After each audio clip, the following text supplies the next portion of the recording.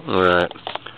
Hey guys, um, just thought I would make a quick video of showing the power of uh, magnifying glasses. We all probably uh, seen people try to burn ants with them as kids and catch things on fire, but uh, these are a little more powerful. These came out of an HD uh, rear projection TV, an old 90s model, and it was too expensive to fix it, so I just gutted it out the nice uh, lenses that was inside. There was quite a few, more than I had expected to find.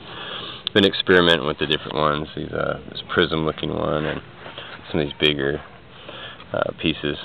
Now, while something this small right here will actually do the job, it's pretty thick and it uh, does a really good concentration. I've already caught the tinder on fire. Just want to show you how powerful some of these uh, bigger ones are. There's a shadow over here. I'm gonna. There we go. I think some. Alright, MTR. That's our pencil shavings. And uh, I'm going to show you. Let's go with this uh, big square lens here. It's a good size lens. Alright, we're going to concentrate that little beam of light on there. See how long it takes. One.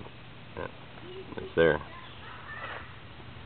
So, that's how powerful these magnifying uh, glasses lenses are. I mean, within saw it yourself within just a second it took off and started igniting this uh, tinders here.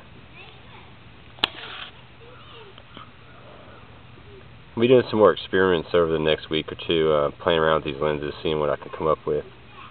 Uh, but just thought I would uh, share this with you guys. It's always good to probably have a magnifying lens uh, in your bug out bag. You can fit it in an Altoids can if you got a smaller one.